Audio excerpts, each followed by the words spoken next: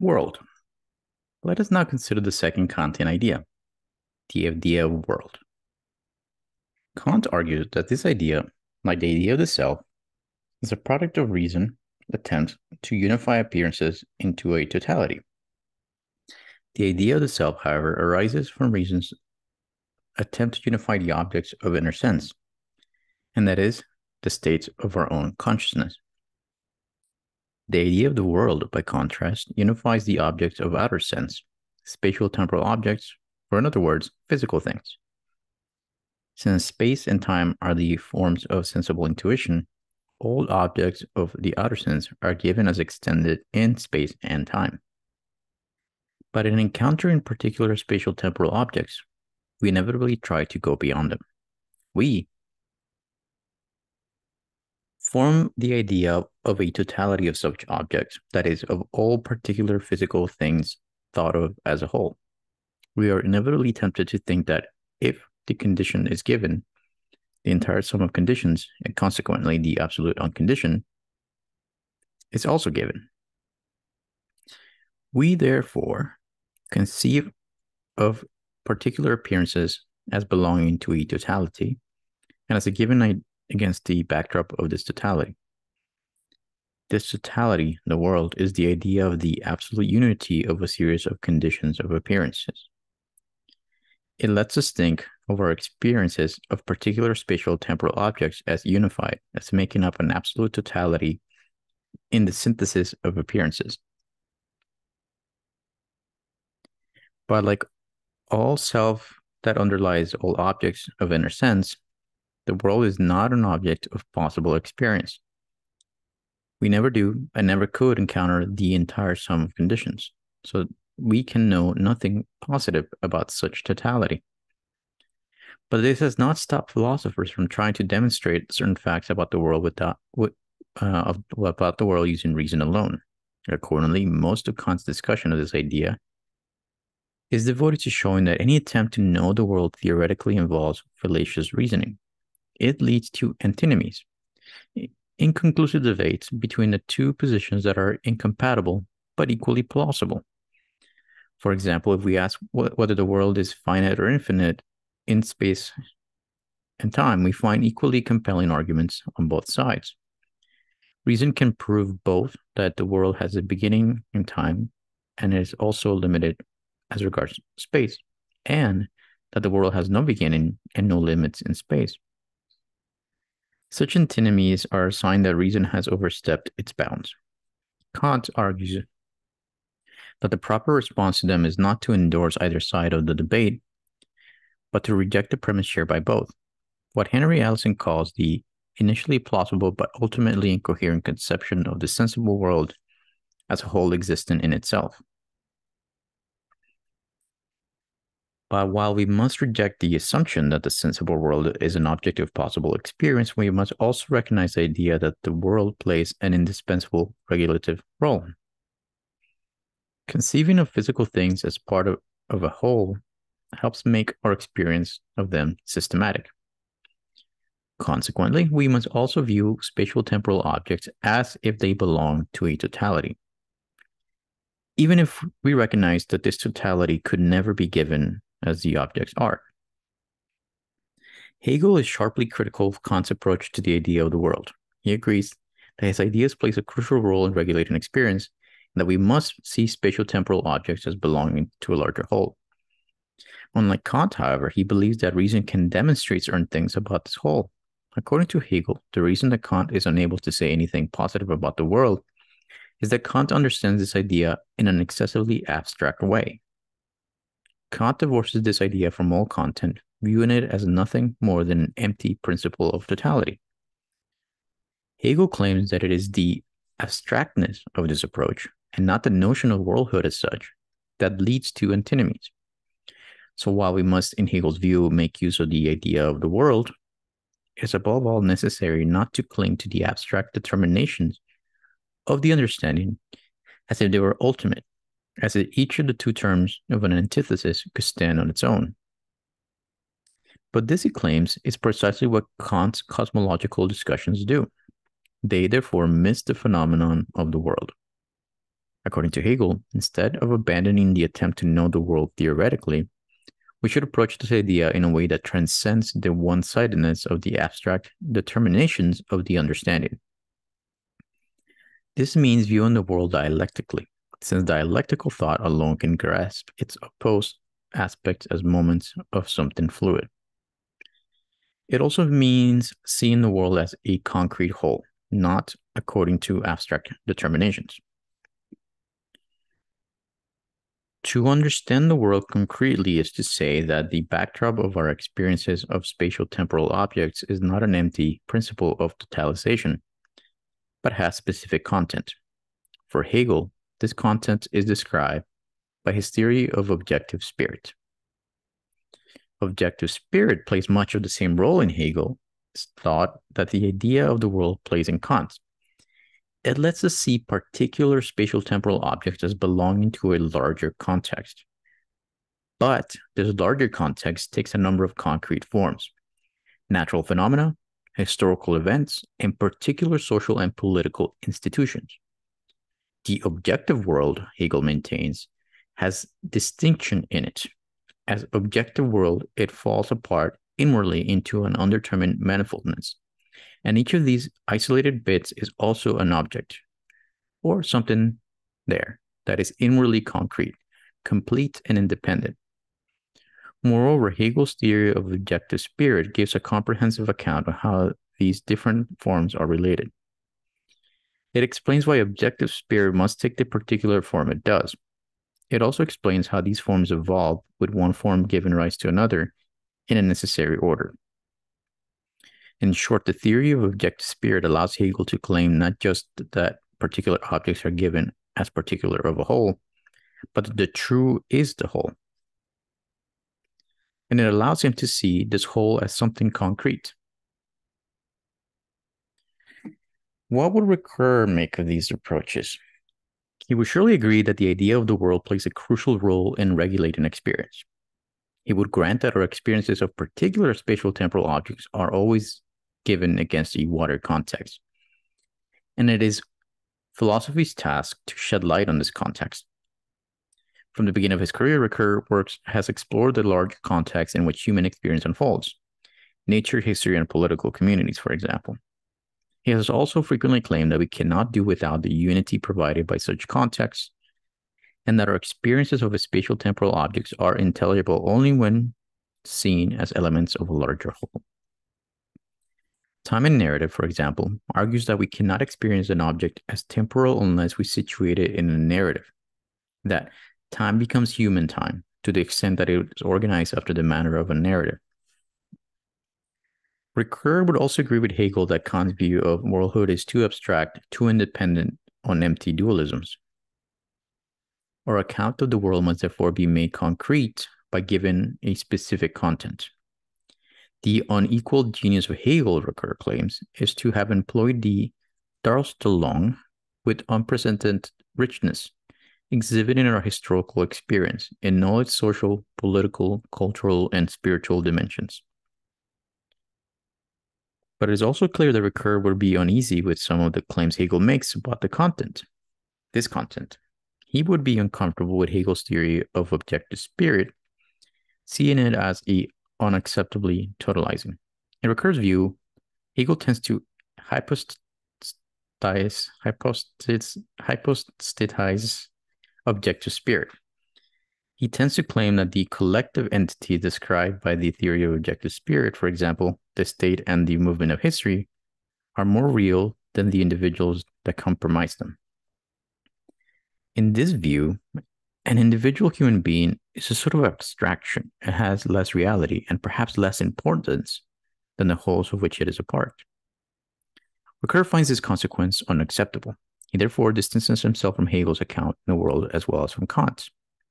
Quote, the point at which the Hegelian attempts to become, in my mind, a temptation to be vigorously avoided is this.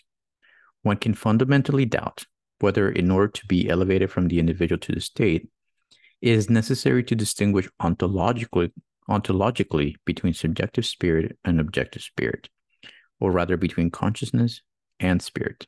End quote. What would it mean to refrain from distinguishing ontologically between subjective spirit and objective spirit? It would involve putting individual human beings and their acts at the center of our understanding of the world. It would mean insisting that the collective entities described by Hegel's theory of objective spirit, the state, for example, may always be reduced to individuals and explained in terms of them. On this view, collective entities such as the state are products of composition. They are constituted through the acts of individuals, have no reality apart from these acts. Ricoeur is led to this approach by his views on the philosophy of action. It is part of the minimal criteria of human action, he argues, that we we are that we be able to identify this action through the projects, intentions, and motives of agents capable of imputing their action to themselves. In other words, it must be possible to describe an action accurately using terms that the agent performing the action we recognize and accept. But when we view individuals as abstract determinations of some hypostatized collective entity, we describe their actions in terms they would not recognize or accept. For example, in terms of a cunning reason that puts the individual to work for itself.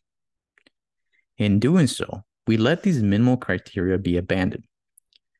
And we begin to hypothesize, hypothesize social and political entities to raise power to the heavens and tremble before the state. Ricoeur also seems to have ethical reasons for favoring an account based on composition. One may wonder, he says, whether Hegel's hypothesis of spirit, elevated in this way above individual consciousness and even above intersubjectivity is not responsible for another hypothesis, that of the state itself. It is a short leap from the claim that the state is somehow more real than individuals to the conclusion that individuals have less value or importance than the state. Footnote 44. And it is hard to dismiss Ricoeur's worry given passages such as the following from Hegel's Philosophy of History. Quote, in contemplating the faith which virtue, morality, and even piety experience in history, we must not fall into the litany of lamentations that the good and pious often, or for the most part, fare ill in the world, while the evil disposed and wicked prosper. Speaking of something which in and for itself constitutes a name of existence, that so-called well or ill faring of these of these or those isolated individuals cannot be regarded as an essential element in the rational order of the universe. End quote. And footnote two. The extent that our account of worldhood refers to a collective entities, it must reduce these entities to a network of interactions. In Ricoeur's view, the philosopher who has articulated the most promising account of this sort is Husserl. Comparing Hegel's and Husserl's views on social phenomena, Ricoeur muses, quote, if one refuses to hypostatize objective spirit, then one has to explore the other alternative in depth. Mainly, it must always be possible, according to Husserl's working hypothesis in the fifth Cartesian meditation, to generate all the higher level communities, such as the state, solely on the basis of the constitution of others in an intersubjective relation. All the constitutions have to be derivative. First, those of the common physical world, then those of the common cultural world, conducting themselves in their turn in relation to one another as higher order selves confronting others of the same order. The task is to combine the best parts of Hegel's account of worldhood with Husserl's reliance on composition. We must conceive of the world as made concrete in collective entities such as history and the state. But if we are to avoid hypostatizing these entities, we must see them as constituted by individual agents all the way down. It is not surprising surprising then that Ricoeur's account of the world owes a great deal to phenomenological discussions of this idea, as well as to Kant and Hegel. Phenomenological accounts of the world typically see it not as a thing, much less a thing that is more real than any individual, but as a web of meanings essentially linked to subjectivity. For phenomenological thinkers such as Dan Zahavi put it, the world is not something that simply exists. The world appears, and the structure of this appearance is conditioned and made possible by subjectivity. Husserl certainly conceives of the world in this way. In early texts such as the Ideas, he describes it as an environment or setting in which consciousness finds itself situated. In his later work, talk of the sort is replaced by talk of the life world, that is, the pre theoretical sphere that always precedes reflection and that can never be fully thematized.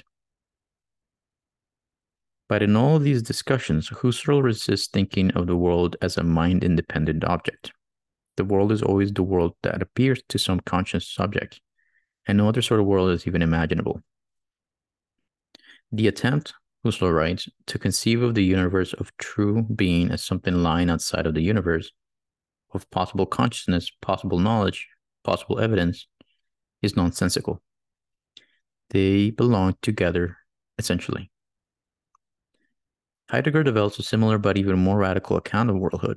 Of course, Heidegger no longer speaks of a world constituted by subjectivity, prefer instead of to speak of Dasein, but it's just as hostile as Husserl to the claim that the world is a thing or an object.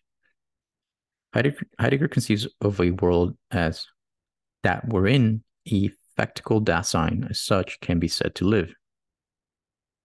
Dasein's world is a set of meaning relation that links it to other entities. My pen and my desk, for example, are given as equipment that I may use in my various practical projects. They therefore refer back to me and have specific meanings in virtue of the role they play in my existence. My world is the totality of such meanings. So for Heidegger, as for Husserl, the world is a structure of meanings constituted by the acts of a subject, or in Heidegger's case, by something like a subject. Like Kant and Hegel, these thinkers insist that spatial temporal objects are always encountered against the backdrop of a larger context. Unlike Kant and Hegel, however, they see this context as dependent on the meaning given acts performed by a subject. These phenomenological understandings of the world show Ricoeur a strategy for thinking about this idea, a strategy that will meet the demands of this post Hegelian Kantianism. Following Husserl and Heidegger, Ricoeur will conceive of the world as a set of meanings disclosed or opened up by the subject. He will, however, take special care to show that is that this set of meanings is concrete without being totalizing. Ricoeur's most explicit discussion of worldhood appears in his writings on narrative from the 1970s and the 1980s. In Time and Narrative, as well as in a number of essays dealing with related themes, Ricoeur offered the idea of the world as a way of thinking about the relation between narrative and reference. Ricoeur is adamant that narratives refer to reality. Contrary to certain developments in recent French philosophy, he insists that there is a hors text. But in the case of narrative, the notion of reference must be separated from the limits of ostensive reference. Narratives refer to reality, but they do not simply point out some aspect of reality that exists independently of them. They refer to something beyond the sense of the work, something that is merely described by the narrative in question. Ricoeur calls this something a world.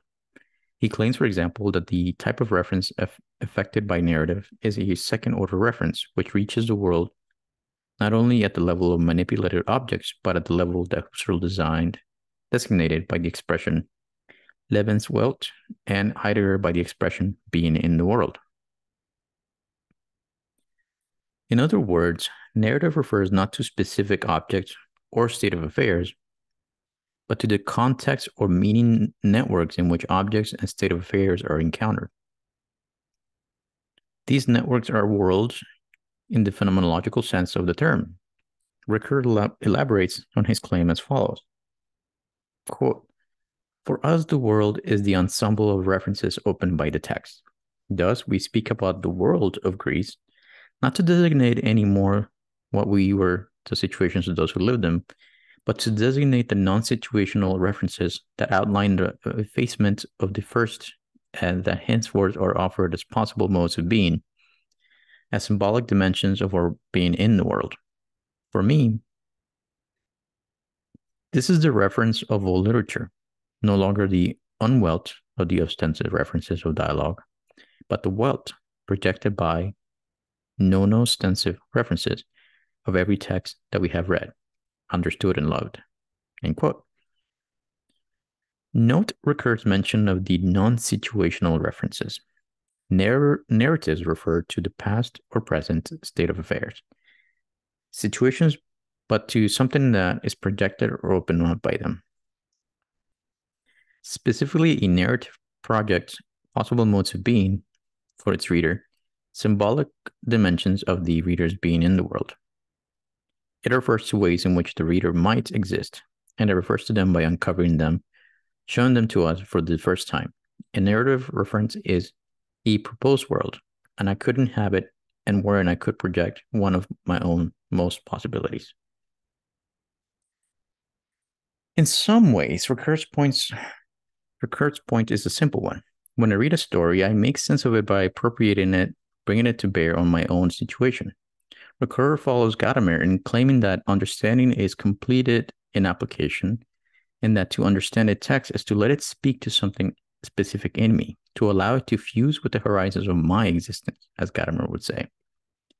This is first and foremost a matter of seeing how possibility described in the text might manifest itself in my own existence, and this in turn is a matter of imagining ways in which I might act out the existential possibilities described by the text. In reading Hamlet, for example, I see the protagonist wrestle with the reality and the inevitability of death. I watch as Hamlet is paralyzed by this insight, but ultimately accepts it and learns to act in the face of it. Ultimately, understanding Hamlet is a matter of asking whether this insight should be incorporated into my own existence and of imagining the different ways in which it might be. It involves experiencing the text as issuing a challenge to me, a challenge that I might accept, reject, or dismiss, and that in any case I respond to by existing. And there then refers not the to something actual, but to a possible way of existing. Surely this is what Ricoeur has in mind when he says that to understand is not to project oneself into the text, but to expose oneself to it. It is to receive a self enlarged by the appropriation of the proposed world that interpretation unfolds. Gerald Brouwer calls this view a magical looking glass theory of textual meaning. For Ricoeur, a narrative is a magical looking glass in the sense that it lets us see a potential mode of our own existence that would otherwise have remained invisible. Bruner elaborates on Ricoeur's view as follows Quote, Texts mean not by corresponding to the state of affairs, not by satisfying truth conditions, but by manifesting or opening up a region of existence whose reality is not simply a matter of analysis, but is, on the contrary, a matter for appropriation, for intervention and action. The task of discourse in this sense would be no merely to, to picture reality, but to throw light on the situation in which we find ourselves historically and open up a path for us to follow in the way of action and conduct. End quote. In short, a region's existence whose reality is a matter of appropriation is what Ricoeur call Ricoeur means by world. But Ricoeur's magical looking glass theory is richer and more complex than it first seems. For Ricoeur, the world is not just an idea connected with the interpretation of, right, of written texts. It is of much broader significance because for Ricoeur, the notion of narrative is of much broader significance. Written texts are not the only sorts of narratives. In fact, it is misleading to use the term narrative at all since it suggests that the sorts of structures found in written and spoken stories are found only there. Ricoeur denies this and he puts it in this way quote, I fight against the claim that texts constitute by themselves a world or a closed world. It is only by methodological decision that we say that the world of literature, let us say, constitute a world of its own. It is only in libraries that texts are closed on themselves, and even then only when nobody reads them. So then we have an, a closed world of text in a library, but literature is not a big library. It is by the act of reading that I follow a certain trajectory, a trajectory of meaning of the text. Then, rea- then I reenact, in a certain sense, the dynamic course of the text, and I prolong this dynamic beyond the text itself. End quote.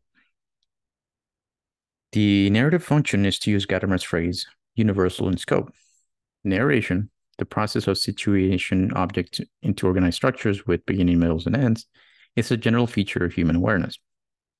As we have already seen in Time and Narrative, argues that it is through narrative that we experience time to the extent that we can.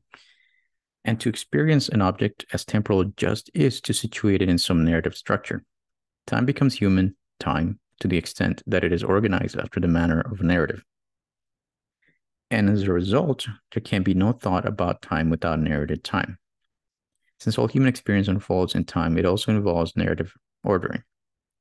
Ricoeur therefore denies that time, there is any experience that is not already the fruit of narrative activity.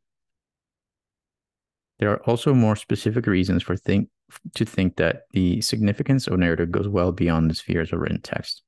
In his essay, The Model of the Text, for example, Ricoeur argues that human action has a narrative structure. Actions display the same essential feature as written texts. They have meanings and, and effects that may escape the intention of the authors, and they're open works that may be interpreted and reinterpreted by audience of indefinite size and makeup. In this, way, in this way as well, narrative structure is pervasive feature of human experience. It follows that the opening up of worlds through narrative is also a pervasive feature of human experience. Since we are always narrating, we are always disclosing new worlds, new networks of meanings that act as backdrops for the objects of experience. For Ricoeur, as for Kant and Hegel, we are always unifying experience by situating its elements in the context of a world. Ricoeur simply has a different view of what sort of context a world a world is.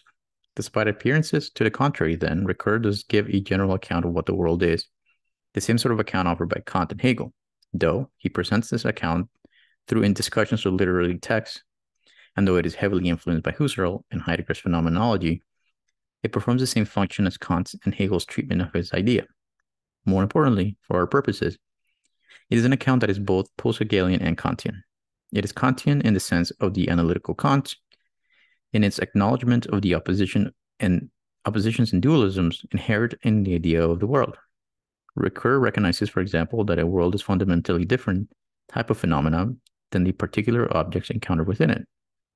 Particular objects are things and are met with in experience.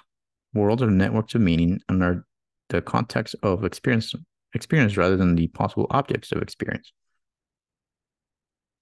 One second.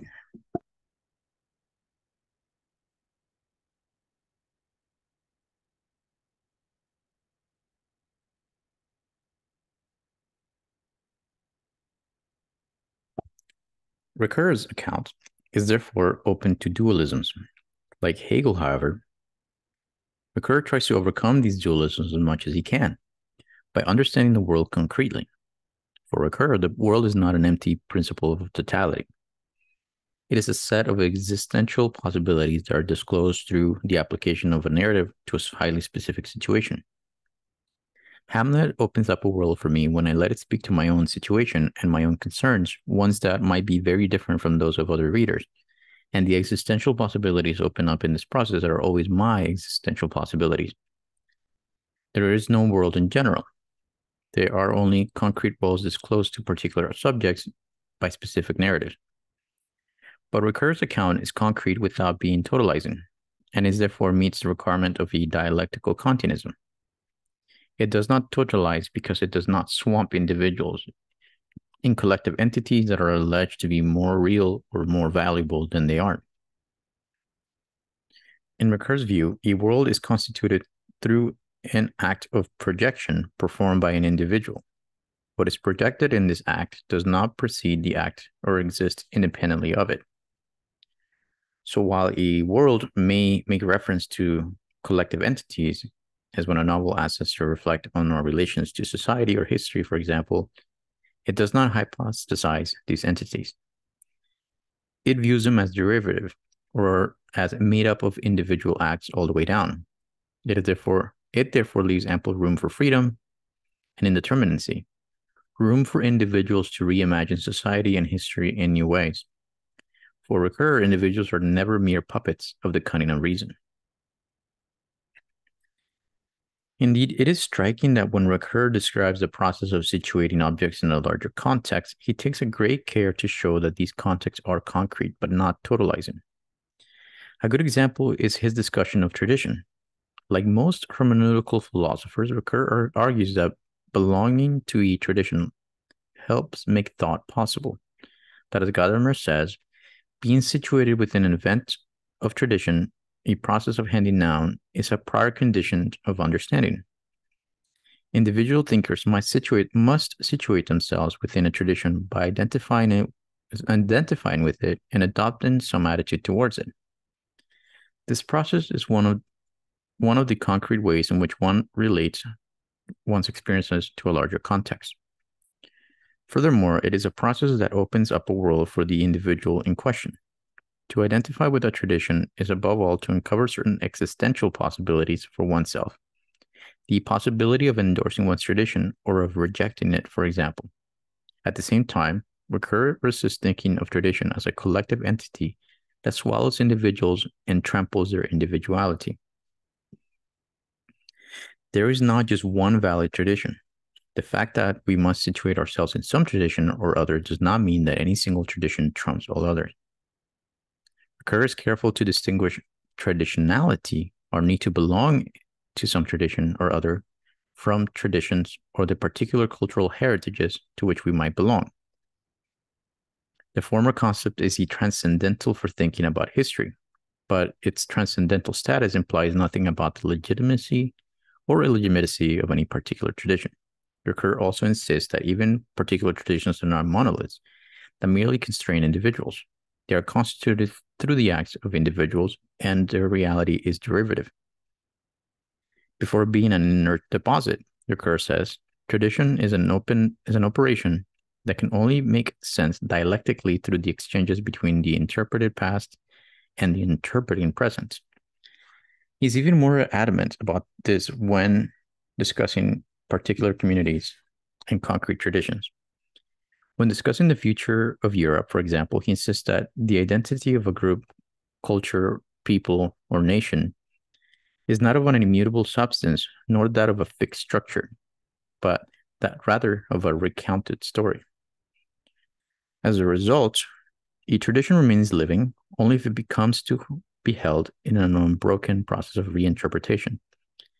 It is at this point that the reappraisal, reappraisal of narratives of the past and the plural reading of founding events come into effect. Tradition is a concrete expression of a worldhood, and thus it is something we help shape.